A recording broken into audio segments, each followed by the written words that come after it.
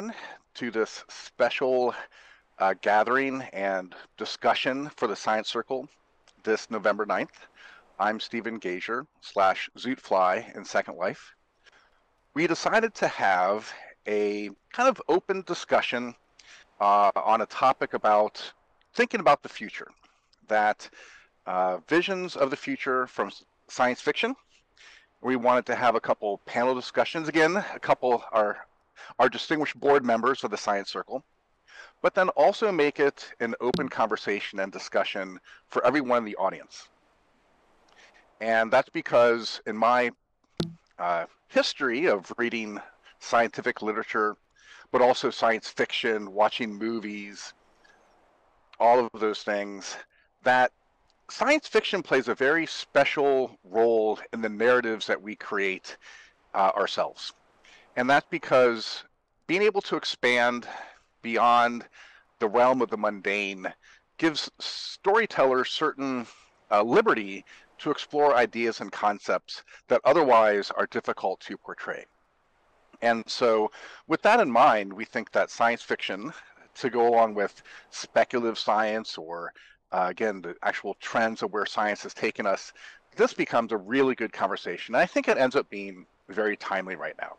So, our panelists today will be Mike Shaw, Natalie Foster, and Karthik, who will all um, talk a little bit about some of their favorite science fiction and really how the narratives of that science fiction connects to uh, our world today.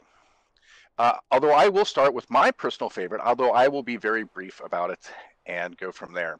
But again, if any of you do want to share something, probably at about the half hour mark, and you have a slide that you want me to present, just send it to me and IM. I'll put it onto the board that I have here, and that way, and then you can share in voice or in text. So uh, with that, oh, I'm sorry. So in terms of the order where we're going to go, since Karthik sent me uh, some slides, I'm going to have him go first, and then Natalie, you'll go. Again, Natalie is uh, sumo in world, and then uh, Mike, I think will will play the cleanup batter position. All right. So for me, I grew up. Oop. That. That of course went the wrong way. All right. So, I decided to pick. Well, what happened to my slide? Oh shoot! Hold on. Let me take a look at something here. For some reason, my top slide is not showing up. Although it's right there. Let me try this again. Here we go. All right. Battlestar Galactica. Again, the original Battlestar Galactica was a TV movie, or sorry, was a theater movie, and then kind of spliced up and turned into a serial uh, TV show. I think on NBC. It was a production of Glen Larson. So in many ways, uh, it was being developed concurrently with Star Wars. Uh, great show. It got a reboot, and and the reboot uh, really put in a lot more story arc, uh, allusions to politics, and a little bit more of a tied up storyline. I think in many ways, the first Battlestar Galactica from the 1970s, it had about, I mean, the the story writing serialization complexity of Scooby Doo in many ways. But it was action. It was great. It told a great story. It had a the evil guys and the good guys, and had a nice nice story. Uh, yeah. So the reboot, I think, also a very interesting story. That what I'm really going to focus a little bit more on in terms of how I describe, I think, this vision of the future, although oddly enough, also a vision of the past. Yeah, Mike was saying he loved the first series and was about 10 years old, and that's how old I was too. And uh, and G again follows up with what I was saying. It had a it had a certain 70s camp feel to it, and if you look back on it, you'll see that. But uh, you know, I think the actors just did such a good job of making it a fun show to watch, and without being too serious about itself. All right, so the plot synopsis is you had this world of humans. They make robots as servants and then the robots become advanced and aware, and they're known as Cylons. Again, this advancement to an almost human-looking version, uh, to a human-looking version that was not in the original series. That was something unique to the reboot. Of course, the robots with the self-awareness rebelled and mostly kicked the humans' butts, but there were a small subset that went on the run to find a mythical lost colony of humans that they thought could help them in their fight against the Cylons, that they were in advance. And this was all like, and this is one of these first parts where there's both a prophecy and a history that has a certain religious supernatural belief element to it that is one of the driving motivating forces of the show uh, now this conflict on the run this is how you have you know five seasons well four and a half seasons worth of tv shows but during all that time it turns out that some of the humans were actually cylon sleeper agents that even themselves did not know they were cylons and crazy enough one of them fell in love with a human and they had a basically hybrid baby. They eventually get to a final conflict. There's a big fight, and they uh, they do land on. I'm, I'm just going to call it New Earth, and they introduce agriculture, and then it turns out, at least the way they end it, they allude to the baby being mitochondrial Eve. In other words, the refugees from this fight end up becoming the new batch of humans on the new planet. And what I have in the picture at the top right were within the storyline, there were two characters who would who basically saw a supernat they were the only ones who could see a supernatural being that they interacted with. And at the end of the, the very last show, the very ending clip of the show actually, these two and I'm gonna just say in quotes angels, they were kind of thought of as angels basically we're talking about how they're hoping this batch of humans uh, that they don't come into the same heartbreak and problems and everything that just happened, and that they allude to the fact that this has happened multiple times. So they again allude to there, and this was true in the original show as well, that there were there were supernatural agents and powers that are at play within the universe. And so, again, what I really liked about it is that one, of course, it is a uh, fear of technology run amok, of getting it too advanced, where then it has dire consequences. And so, yeah, I mean, if we start developing AI and they start branding it as HAL or Cylon, you know, we, let's not do that, right? Or, uh, you know, T1000 Skynet. Uh, but I think the other thing, too, was that there was always this sense of hope in the show, and that in the end, it was promoting this idea of at least be able to start over, that there's always this hope at, with a fresh start that you can do something better and do it better the next time. So that's my quick synopsis, one of my favorite uh, science fiction shows. Anybody want to just, any other quick comments? I saw some stuff in the local chat. I don't know that the story is never trust a human, because you, but, but humans, of course, are the ones who cause some problems. Uh, anyway. Well, again, uh, one thing to keep in mind is it's not just the AI; it was also advanced robotics and other stuff. Yeah, I think it's a really, really good show, and the actors they got were top notch. You just, it's hard to, hard to deny just how well produced and how well made this particular show was. Yes.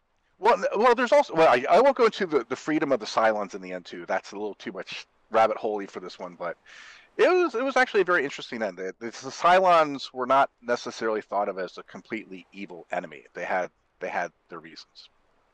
All right, so Karthik, who's next to me, he is the uh, WALL-E little icon. If if you don't recognize, I'm K9 from the uh, fourth incarnation of the Doctor Who series. My favorite characters. I'm gonna hopefully get the right slide here. So, Karthik, why don't you take it away, and then we'll get the slide out of the way and let Natalie go. Can you guys hear me? I hear you. Okay. Um, so the other guys are going to talk about, um, you know, uh, stuff that you see on TV. I thought I'd spend a bit of time talking about video games. um, but but I do think um, there's uh, Um, there's quite a lot that we can learn and ask ourselves by following the plots in a number of video games that were released quite um, recently. Um, Deus Ex is actually a, a, very nice example of that. Um, I haven't played any of the earlier, you know, games in the series, but I think Human Revolution and Mankind Divided um, I, I really liked the plot in both these games because they highlight the social divisions that can occur in society when people start using their autonomy to do things to their own bodies. Um, so what happens in Deus Ex is, um, you know, human augmentation has become a thing. Uh, it starts to provide people with enhanced abilities. Um, but that also leads to certain inequalities, right? Um, only the wealthy or people who are sponsored by corporations are able to afford these advancements. So there's a there's a disparity in class between people who are capable of affording these things and people that can, you know, um, and people who are not. Um, so it and in that sense, it also represents a society that is heavily, you know, controlled by corporations. Um, and in, in Deus Ex Human Revolution, we're introduced to the society in which augmentation has, um, you know, has become something that's adopted.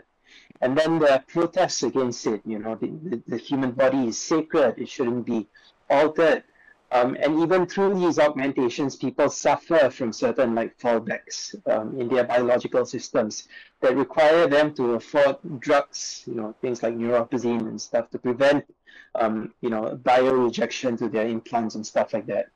Um, and in that sense, they are also at the mercy of these corporations that, that provide the augmentations and the drugs, so on and so forth. Um, but it raises the question of what happens to our humanity when our bodies become modified in such a, um, you know, in, in that way, when um, when we give up what's human physically, you know, to to augment ourselves. So it's a it's it's a very interesting thing. And then mankind divided addresses um, you know it, what what happens in human revolution by the end is um, a lot of people with these augmentations they suffer from neurodegeneration, I think, um, and and they start going amok, they start rioting, and they do all sorts of things, and and that creates a situation um, um in which they become vastly highly discriminated by society and mankind divided in mankind divided you know they're really struggling and it becomes a situation in which you know now we have these uh, the black lives matter you know all those movements it becomes a situation in which they need support from the rest of society to even live live amongst us um, so that's a yeah that's a very dystopian sort of reality um, but i found it quite uh, interesting. Uh, the next slide. So in that same sense, um, a more release, more recent game was like I think Cyberpunk 2077. Um, and in Cyberpunk, you know, 2077, you have this augmentation, you have all of that. Um, you can play with the character and customize it and all sorts. Um, so augmentation is of course a, a, a big part of things. I think what's more important or what's a more interesting topic in Cyberpunk 2077 is the digitization of the human consciousness. Um, and I think um, this this notion of like immortality and stuff comes up, you know, where we are trying to preserve our personalities and our consciousness, and the digital format seems to be um, an interesting way um, to do that. When but when you do upload your human consciousness, um, what then happens to your identity? Um, does you know is is a digital version of someone really them, or is it just a sort of fascist smile? Um, so when characters seek to preserve their consciousness and you know even achieve immortality by transferring their minds into new bodies or into virtual spaces, it changes. It, you know, it sort of challenges traditional concepts of life, you know death and the soul um, and and so so the, those questions are sort of raised in cyberpunk and then you see this very erratic character uh, johnny silverhand that's played by keanu reeves he comes up and he it turns out that he's a he, you know he he's a sort of digitized uh, a consciousness. But because of his personality, maybe it seems as though the soul hasn't actually left, in spite of the fact that his body is now a digitized um, sort of entity. Um, but then it also raises questions about what sort of rights these entities, um, you know, uh, deserve, right? Um, what sort of rights are they entitled to, rather? Um, and as we talk about that, we should also sort of think about um, artificial intelligence, right?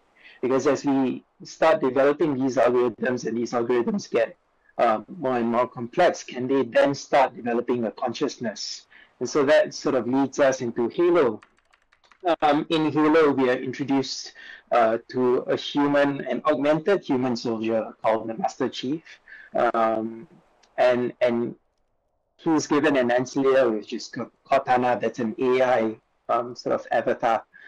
But um, Cortana sort of start, you know, she starts going um, rampant. They call it. She starts developing a consciousness. She starts to feel things, and if, in spite of her own intelligence, you know, she because of, of, of this development of her consciousness, her, her algorithms start going rampant.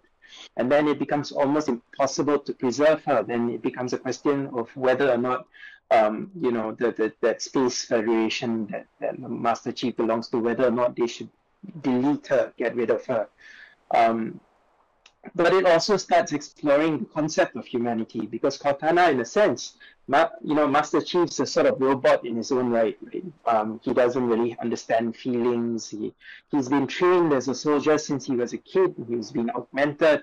All these things have happened to him, but he's slowly starting to learn humanity through by means of an AI that's developing her own consciousness. Um, and in Halo 4, I thought that was really beautifully portrayed, you know, up till the end. Um, and I do think that you know if you guys are interested in it, you don't really have to play the games. I don't sometimes. You can just watch the cutscenes. Um, and some of them are really they raise some interesting like uh, questions and concepts. Uh, yeah, so so those are my examples. that's a really good one, Karthik. I, you know, I'm going to ask you to put in a little further commentary. That what do you think? About the drive for people to, in a sense, enable their own longevity or even immortality in the real world today. I do hear a little bit about people trying to do that. Um, yeah, I think it's quite interesting. Um, uh, the question of whether or not you're going to be able to perceive the, you know, um, that that consciousness that's uploaded on, on the digital realm is um, is is a very good question. Um, so so that's also like that also raise raises questions about you know the fears about like where do we go after we die and stuff. Do we what do we perceive? What do we see and and things like that. Um, I, I think that might be maybe one of the, the limiting factors for us to sort of pursue that sort of technology. But imagine like being able to talk to someone that has recently passed away, passed away, you know, someone that you miss, maybe somebody that you that you need like advice from somebody that you wish was still like you know in leadership in your organization in the world or something like that. Something somebody that you can learn from. You know that's a um there i think there are probably uh, motivations that are probably in content at the moment for this for pursuing this some of which are ethical and stuff. So yeah i would definitely say that it's a it's a bit controversial in the present age, but maybe one day it will be possible. Yeah, Syzygy mentions the series Altered Carbon, and I just got through the first season of that one. And again, that one's getting very dystopic, but uh, it is about being able to maintain your consciousness in a chip, and I think that that is a really interesting one. Um, yeah, and I think the other thing I put a question in the audience, but I do want to move on to Natalie. Is that um, you know, there are these AI girlfriends. I'm getting ads on my Facebook feed all the time if I want an AI girlfriend, and so you know, part of what Karthik was mentioning here, that's you know, we're starting to see some of this reality and some of this replacement of human interactions with a very human-like interaction.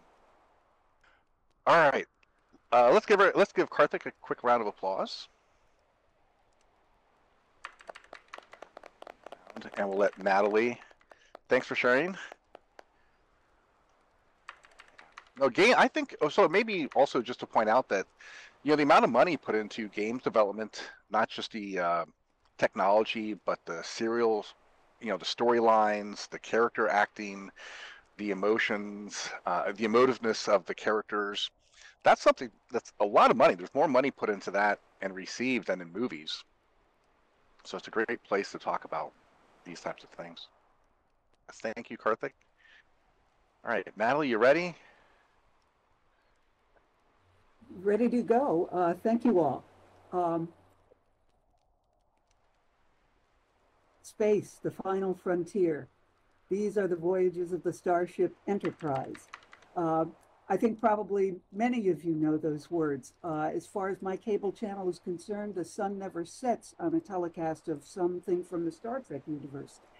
Um, I'm going to concentrate exclusively today on the original series, which went from 1996 to 1969, and the next generation, which went from 1987 to 1994. Notice they're 25 years apart in this universe. The original series was 300 years into the future in the 23rd century. The next generation was 80 years beyond that in the Star Trek universe. Um, the key thing that I've enjoyed so much about Star Trek is its essential optimism. Uh, fundamentally, we've, we're still here. We've survived the existential crises that we all recognize today. We find a way to care for each other and to lead ethical lives. And that to me is in large part what many of these Star Trek episodes are about. And I'm also intrigued by the fact that I'm going to bring up some of the same points that both Stephen and, and Karthik have hit on in the way here. First thing I want to ask you to do, though, is take a look at the two crews. The photograph on the left is uh, the, the crew from the original series. And what I want to point out to you is the gentleman on the far left in the front row is Russian. The gentleman on the far left in the back row is Southeast Asian. And the woman next to him is, is both black and a woman. Uh, let me remind you a little bit about what was going on in the United States in the 60s. Uh, we were in a hot war with Vietnam in Southeast Asia. We were in a long-standing Cold War with Russia. Social ferment was huge in terms of the women's movement, but also especially the, the movement for Black civil rights. Um, if you take a look at the two gentlemen I mentioned, those people are the were the face of the enemy in that era. Someone from Southeast Asia, someone from Russia, and yet there they are on the bridge of the Enterprise. Nichelle Nichols embodied two of the huge political movements going on in the populace of the United States during that period, the women's movement and especially the Black Civil Rights Movement. I've heard Nichelle Nichols in conversation, and I know several of you have too, because we've mentioned this before. She originally wanted to, to quit the show because she didn't have much of a role and she felt she was really sort of a glorified telephone operator. But Gene Rod, uh, but uh, Martin Luther King came to see her and said, Nichelle, you cannot quit this show. You are such a powerful face for our movement on TV. And of course, that was Dr. Martin Luther King. She had to stay on the show. And to get her there to begin with, she told an interesting story about Roddenberry getting the idea for the show through Desi Desilu. And he originally didn't have Nichelle Nichols there. And then he went in one day and said to the upper management, uh, you know, I want to put a little color on the bridge. And they all said, oh, fine, because they thought they meant, he meant, oh, colorful uniforms or, or brightly colored chairs. He meant Nichelle Nichols. Roddenberry was incredible. And that's one of the things I think about in terms of Star Trek, just regarding the bridge crew what an incredible sociological statement that was to have those people there. Now, when you take a look at the next generation, again, 20 years into the future, um, or 25 years into the future in the US, there are also some interesting people in the bridge group. We have back row, far right, Mr. Worf. Mr. Worf is a Klingon. The Klingons were our enemy in the original series. They are now our allies and Worf has is now the chief security officer on the Enterprise. Not bad for 25 years, going from enemy to ally to being chief security officer. Geordi LaForge, top row left. Um, Geordi LaForge is blind. He's not only a black man, he's blind. And yet he's the navigator, the chief navigator on the starship. They got a blind guy as a navigator. Incredible. In between those two is something that both, someone that both uh, Karthik and, and Stephen alluded to. That's Data. Data is an android. Um, Data is a very highly developed, very skillful android, and he's a very valued member of the crew. And there was an episode that aired in uh, 1991 called The Measure of a Man, where someone comes in from Starfleet, which is the uh, uh, major organizing body of, of all of these episodes. And uh, the guy wants to take data back to the lab and disassemble him to see if he can be recreated. And it ends up in a, in a uh, actual trial where Picard defends and defines Data's humanity, even though he is an android. So it's a, it's a fascinating series in that regard. Now, the other thing I want to mention about this series is something a little um, uh, a little uh, geeky, perhaps. Uh, yes, because Riker had to take the opposition, and it was it was a marvelous, marvelous discussion of what constitutes humanity. I, I agree. It was it was brilliant. Um, there's another piece about Star Trek that I want to mention in terms of science fiction literature. But as I said, it's a little more a uh, bit of geeky techno babble. But uh, uh, all I want to say is that both the original series and the next generation had certain common plot lines that popped up. One of them being um, the transfer of information by spies, espionage. Um, I will admit, in the next generation they talk more and fight less but there's still there's still conflicts going on so there's still espionage happening in journey to babel by dc fontana um, 1967 star date 3842.3 for those of you who are graduates of starfleet academy uh, in journey to babel the, the enterprise is transporting a bunch of delegates to a meeting for all of the uh, civilizations that are part of the federation and um, they find they're being tracked by a ship that nobody can identify. They don't really know what's going on. A couple strange things happen. And they find there's a spy on board. The spy's name is Thelev. He's a surgically altered Andorian. Um, if you remember the Andorians, they're, they're kind of they're like pale blue, you know, and they have these antennae. And um, they found that Thelev has a radio transmitter in one of his antennae, and he is transmitting information to uh, his colleagues in this ship that's trailing the Enterprise and causing these problems that, that I mentioned that I won't go into. Now, in this was interesting to me because in 1960s, James Bond notwithstanding, um, a radio was probably the best technology available to transmit coded information. As a matter of fact, this show aired in 67. In 1966, the American Cryptogram Association published an article in which they said, and I will quote this Today, so much secret information is contained in coded radio messages that cryptanalysts can intercept more intelligence than secret agents can steal. But it was all just done by radio. And admittedly, in Star Trek 23rd Century, this is just a radio. It's a really powerful one. It can send encoded information, but it's still just a radio. Let's go up 25 years to The Next Generation, a show called The Drumhead, written by Jeri Taylor, aired in 1991. Starfleet grads can see the stardate number. Um, there's a Klingon exobiologist on board in an exchange mission, and he's been on there quite a while. Um, some strange things start happening, is the best way I can describe it. Um, the, the all warp drives becomes disabled, and all of a sudden they find out through Starfleet that plans for a new dilithium chamber that were secret in the Federation have shown up in Romulan hands. Well, one thing leads to another, and Worf finds out that uh, J'Ddan is a spy. And J'Ddan, as I said, is a Klingon, and he has uh, a hypo syringe that he brought on board because he uses it to inject uh, a, a treatment for something, some syndrome he has, some some uh, medical syndrome. But Worf finds out that this syringe that J'Ddan has is really very special. It's fitted with, and pardon the technobabble, but this is what they said. an optical device that can read data from Starfleet isolinear chips.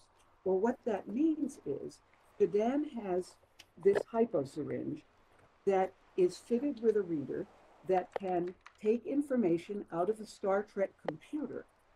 Um, it can then code that information in the form of a protein that's resistant to enzymatic degradation.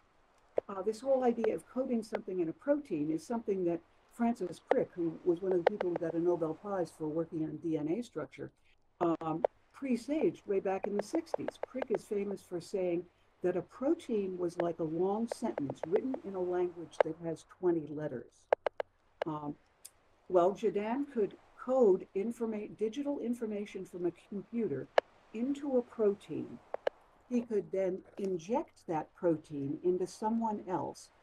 Their body became a carrier of these top secret files. That file could, that protein could then be fished out, decoded, and the information um, made available to whoever had the code. That is a hot piece of espionage. Well, scientifically, how did that work out? One thing that happened in the intervening 20 years on Earth is that um, making proteins that could withstand enzymatic degradation, that didn't trigger the immune system, that could be identified and fished out of a lot of other proteins was a major thrust in drug design efforts during that period. So Star Trek was really right up to date in terms of what was being done with proteins, and they just that's exactly my point tag.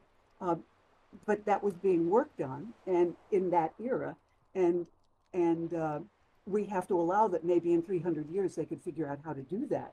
But my point is again that in those 25 Earth years separating those two episodes, the two versions of Star Trek reflect what's going on scientifically um, in the world in terms of scientific interest, and then extending a bit.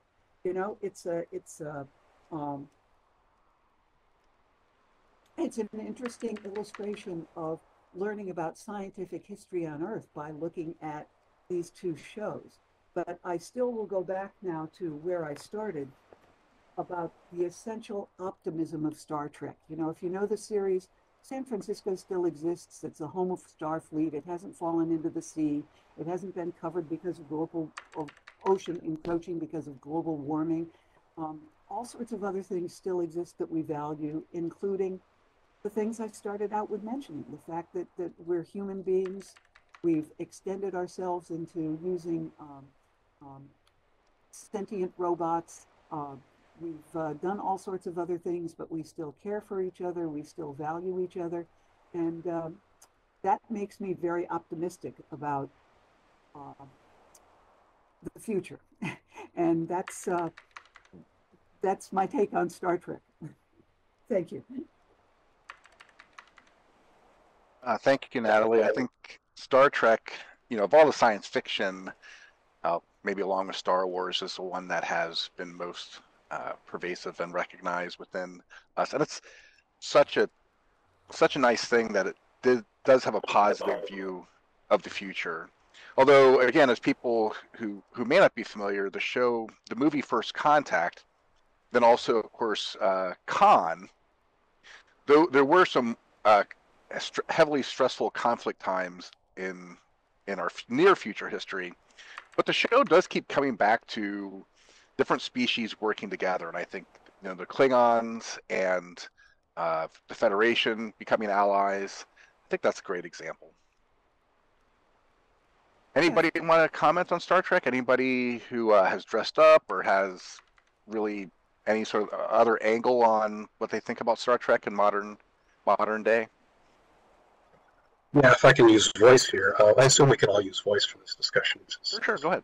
Discussion. Yeah, um, yeah. I just wanted to say that uh, I agree with pretty much everything that um, Sumo said there. Um, but uh, as I put in the, in the comments, uh, it, it's somewhat ironic that uh, in these science fiction shows, especially involving space travel, they don't seem to understand how spaceships move in space. They don't move like airplanes. And it would be nice if they had, you know, better science consultants, or at least listen to their science consultants. Oh, yes, Sis, I'll, let me add to that. You're absolutely right. They do have, they did have a science consultant.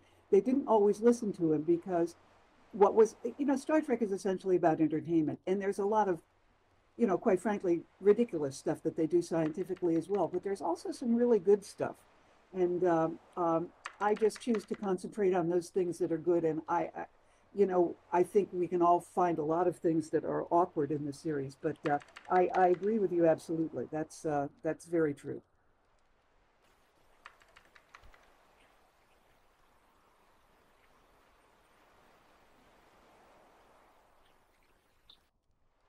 Well, the problem I have with artistic licenses is called is um, that um, it, it, doesn't really make the show better if you don't have spaceships not moving like spaceships. Um, yeah, I mean, you can do it like in, in um, if you want to see something that's more realistic about how spaceships move, watch um, watch The Expanse. Um, that that was a rather impressive series. It was based on um, a series of books that were very well written. The physics is very realistic, at least as far as human technology was concerned. Oh, I agree too. The Expanse was superb. Yeah, The Expanse was super great. And I think, you know, in that case, they didn't propose, at least that we had, faster than light travel, but they did something in the end along the lines of Stargate, where a super advanced civilization was probably taking advantage of some sort of wormhole, warp space time to make Stargate type things where you could travel long distances. So again, I, good stuff. But yeah, the storytelling in that one was just really, really good. All right, I think let's give everyone a round of applause to Natalie. I'm really so glad that we have Star Trek represented. And let's take it away, Mike.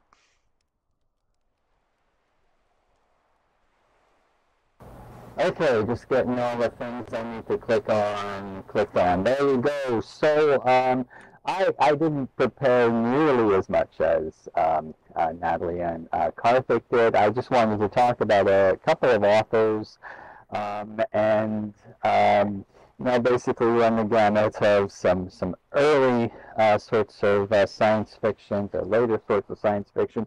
This, this crowd seems to be uh, into the space operas, and, and, and I love the space operas. So I'm going to talk about two authors. Um, one from like the 40s and 50s, uh, E. Doc Smith, um, very early space opera stuff, and then Alastair Reynolds, uh, who's uh, active today. So um, I've um, famously stolen art from uh, DeviantArt. Uh, this first slide here is actually showing the planet Yellowstone uh, with um, with uh, the remains of uh, the Glitter Band, which I'll explain um, a little bit later, um, and uh, is featured from uh, Alastair Reynolds' uh, work, uh, work. So yeah, there's my title slides, my my picks, um, and yeah. So um, again, shamelessly, let me put my laser on. Backslash one laser on Katrina. Yeah, and again, my laser pointer is always sideways. Not sure why, but it is. Um, and again, I have shamelessly um, stolen uh, art from um, uh, DeviantArt in this uh, case. The ship is the Dauntless, uh, and it's uh, described as a super dreadnought. Uh, it's described as being tear-shaped. Um, Smith and his spaceships was always worried about uh, friction. His faster than light travel was based on something that he called the inertialess drive, which neutralized the inertia of matter and basically made um, anything within the field into a tachyon. It could go as uh, fast as it needed to without limit. Um, and the only thing that would limit its speed would be the friction with the interstellar medium. So things tended to be smooth, like teardrops or spheres, or um, in in this case, something something that looks like a um, cylinder. So um, you know, this is like grand cosmic space opera stuff. There are um, both uh, good guys and bad guys. Uh, if you're 10 years old, this is the sort of thing you want to read. There's very clear-cut lines of like how one behaves and how one doesn't behave and uh, you know there is no moral middle ground. Um, and uh, that's problematic because as an adult, I kind of see how um, the um, good guys uh, would basically see me as uh, like uh, one of the bad guys for like uh, you know popping, you know, being for individual rights and law and order and um, you know things like uh, um, being against unreasonable search and seizure and things like that. So yeah, um, when one is young, one uh, enjoys things a little bit more. Um, so yeah, um, this uh, real, real basic stuff. It was a great read. I have a lot of links in my presentation, and to give you a link to a PDF of my presentation, there it is. I just loaded it up onto my uh, website, and then um, if anyone wants to like download the artwork for themselves, um, these these were free downloads from DeviantArt, um, and then the Wikipedia things on uh, E.E. Smith. Um, interesting how some of these things, how like this series was built up. Um, these dates, these things came from the wiki site. These were the dates of the publications of the books. But um, Galactic Patrol itself, the third one in this series, uh, was serialized in the pulp magazines um, earlier, um, and it was the first one. And, uh, you know, there were sequels and sequels, and then there were prequels, and then, uh, you know, today one has a recommended um, order. Um, one has one has a uh, recommended order. Uh, so um, let's see. Um, and in each book, there ended up being a grander uh, villain, right? So in Galactic Patrol, it ended up being very much like a Star Trek sort of villain. There was like a pirate base somewhere, and the guy in charge of the pirate base would be, um, uh, you know, would be the villain. And Gray, um, Gray Lensman, that kind of uh, was a, um, you know, there was a race of people who were mentally more advanced second stage lensman. There was an even another race of people, even more advanced, and there was a renegade who was running all the bad guys from behind um, the, the scenes. Um, and then uh, the last one, it ended up uh, like being a whole other race of people who was running bad things behind the scenes. And E. Smith went back and edited all of the uh, books uh, so that they could be published so that they would have a unified sort of thing. So you kind of miss um, that development. But um, yeah, so uh, more art. Uh, you know, when you're reading these, you have pictures in your head. This particular one has uh, Dauntless uh, moving away from a planet named Jarnevon. It was where some of the um, bad guys were living. And the good guys um, were able to uh, weaponize planets, and they smushed the planet of the bad guys in, in between to faster than light moving um, planetoids. Uh, yeah, that's one way of dealing with uh, things. Uh, the other way of dealing with things is to talk things out with your feelings. So Uh, basically, uh, basically, um, um, E.E. Smith was um, um, inspiration, I think, for a lot of the space opera. His descriptions of how shields work, I recognize that in uh, Star Trek, the visual effects, and you know, basically how the, um, you know, the um, energy is uh, distributed around ships and the like. Um, Alastair Reynolds is a modern writer. Um, he's a um, astrophysicist turned writer, uh, so he knows how relativity works. Um, he has had a great number of books uh, published at this point. Um, the series I'd like to talk about um, today is basically like uh, his Revelation space universe, and there's a there's a whole bunch of books, kind of you know, a whole, whole bunch of books, uh, like several series within set within this universe. Um, one thing I like is uh, his descriptions of um, ships. Uh, what I've got here is um, uh, art by Steve Burke, again stolen from Deviant, DeviantArt.com. Uh, the ship's name is Nostalgia for Infinity, and it's cone-shaped. It has a huge, basically, iceberg inside of it as reaction mass. Uh, that mass gets pumped out the back because um, Newton's laws say that you have to have um, action and reaction, and uh, the shape of this uh, is basically to reduce friction so that uh, when you're traveling near the speed of light, you're um, you know, not wasting your reaction mass. This is called a light hugger ship. Um, in the Revelation space universe, faster than light travel uh, is possible, but it's so dangerous that uh, no one, no race, uh, really ever uses it because uh, it's a good way of just turning yourself into like scrambled matter. Um, it's not just about uh, technology; it's about the people. Uh, so the different groups of people. The the the stories are set in kind of um, uh, in the next thousand years or so in the next thousand years or so. And uh, in that time, you start to see how uh, people, um, groups of people basically diverge from like the basic uh, human sort of blueprint.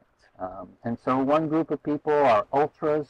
They tend to be the folks who um, uh, have the best uh, spaceships, these light hugger ships, and um, they uh, do a lot of uh, physical and mental enhancements. Uh, they use technology to enhance themselves, uh, and their their enhancements are highly individualistic. It's basically like almost like body art what they do, um, but they're extremely individualistic.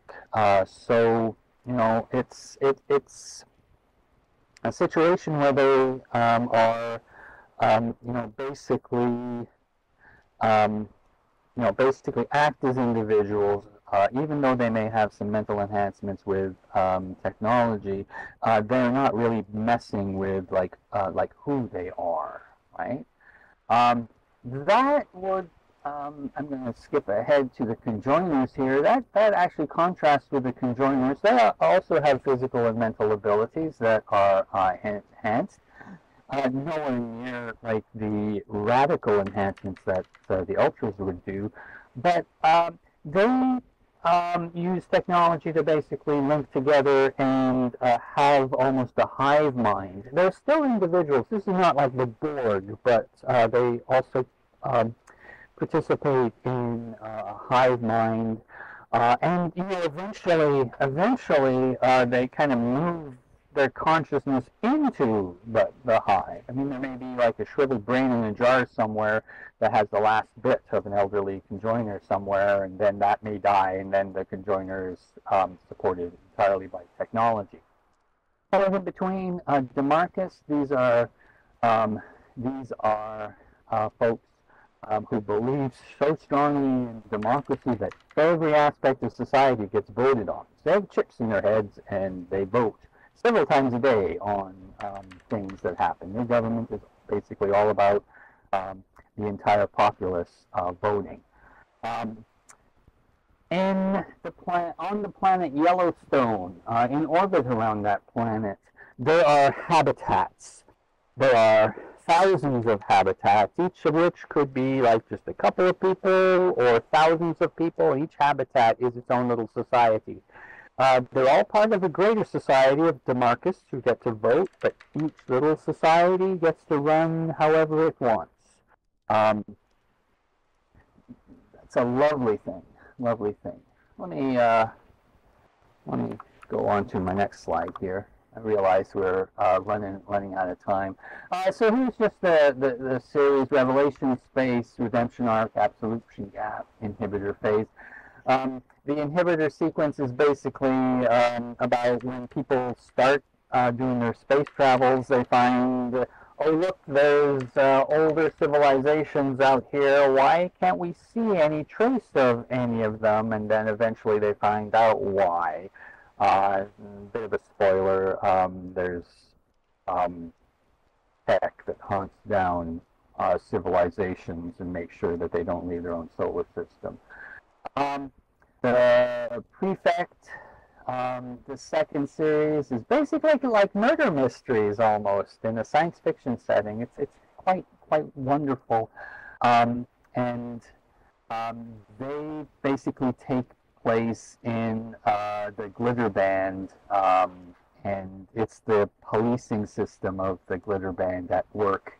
Um, and again, they, there is a um, there is a uh, enemy. It happens to be a true AI, uh, which leads to the downfall of the glitter band, which um, a couple of hundred years later we uh, see um, described in Chasm City, which is a city on Yellowstone, where um, since the glitter band has been um, utterly destroyed by this AI, the um, um, uh, uh, refugees have to take uh, refuge on, on the actual planet and, and, and, live there.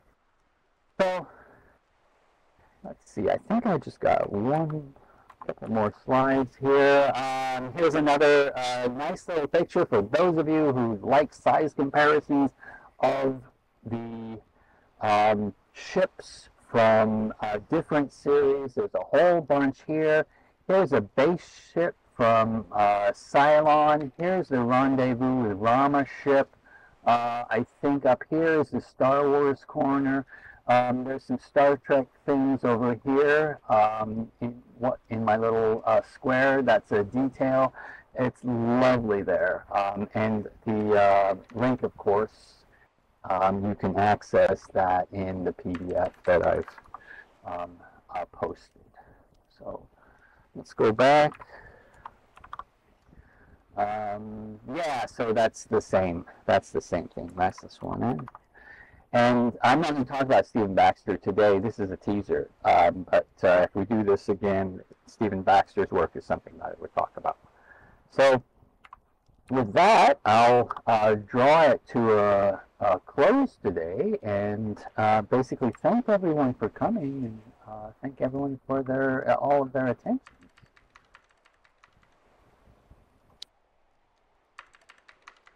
Let's give Mike a round of applause.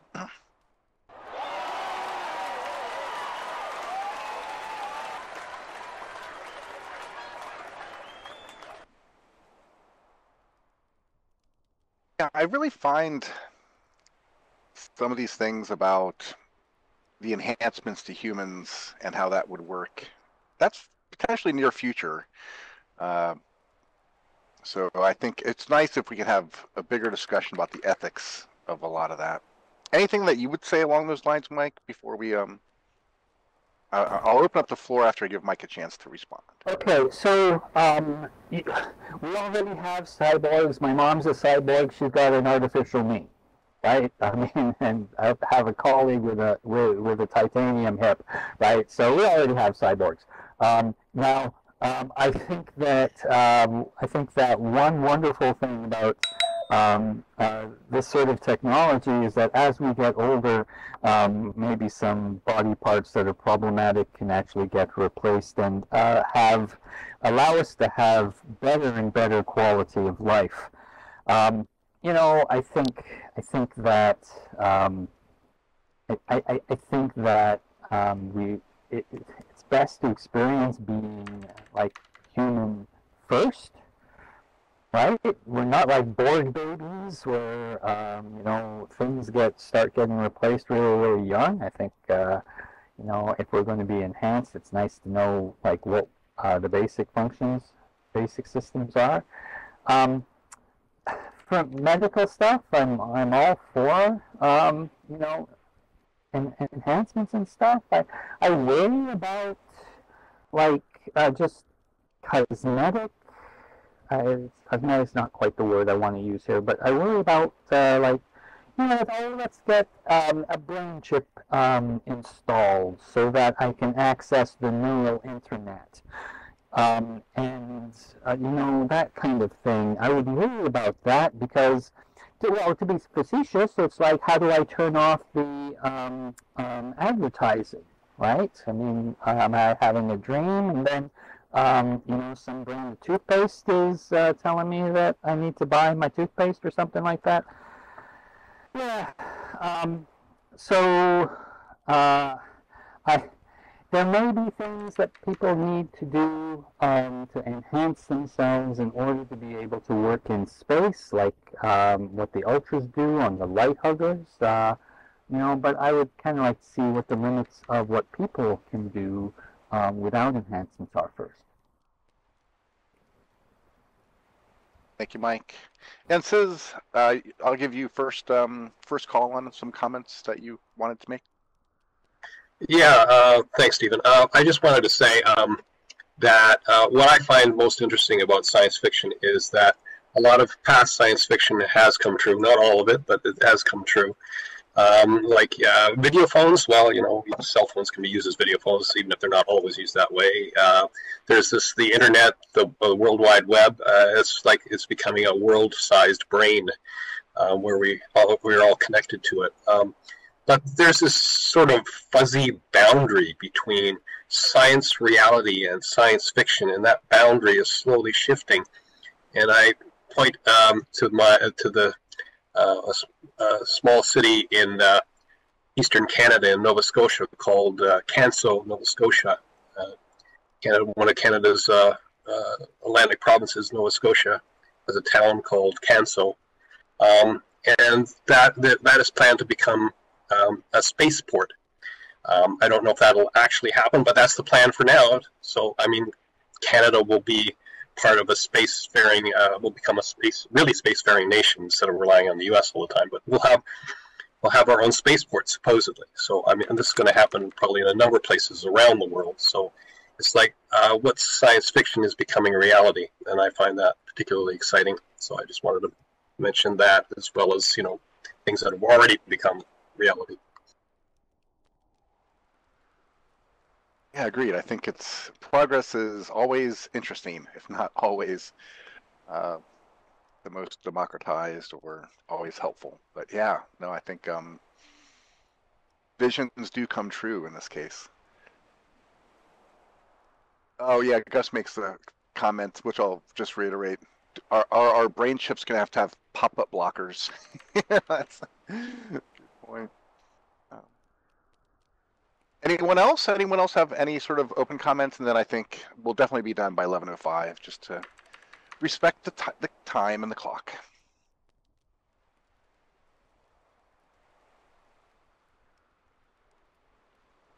A tagline describes a future viewpoint on death becoming that humans over human histories have seen themselves as growing ill or injured and dying so that death came from those situations.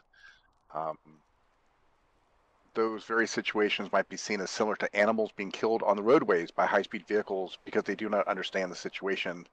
In other words, imagine if all death as we have known it is similar to roadkill because humans were not as smart as they think they are. Uh, yes, there can be some pretty dire, unforeseen consequences of um, not being aware of what we do, which I think again is why we want to have these conversations of not just what's the fancy new gizmo uh, once it's been released, but as people develop their ideas and their prototypes and they start to think about marketing them, what's what's the best way to think about the most good for each one?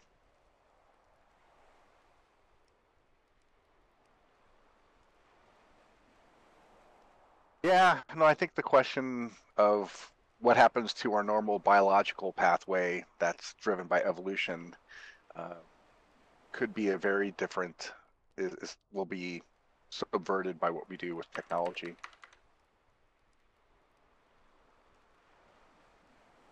Uh,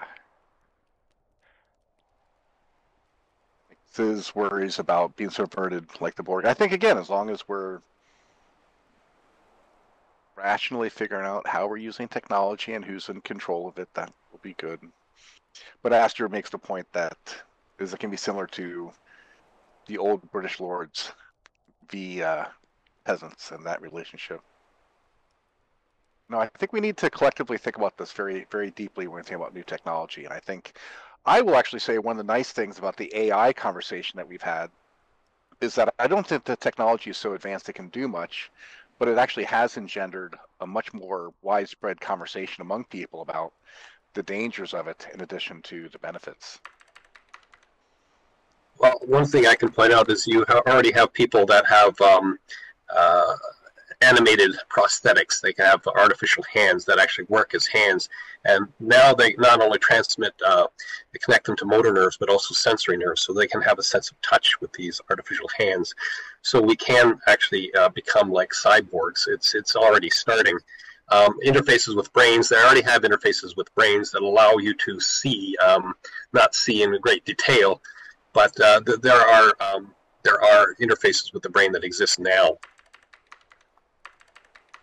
well, I think that's a good point. A lot of certain technologies are definitely driven by a strong medical need. You know, there are also brain implants that help regulate electricity pathways in the brain to deal with, say, say schizophrenia uh, or depression. And so a lot of these things are really important as beneficial devices or, or tools. So we'll see. We'll see how it all plays out. I think let's give all of everyone, let's give ourselves a collective round of applause for having a great conversation. Again, uh, thanking the panelists again for preparing ahead of time. And there's some wonderful costumes out there as well. So, uh, everyone, have a wonderful rest of your weekend. And uh, always check the Science Circle events calendar on the web for upcoming events. Have a great one. Live long and prosper, I might even say.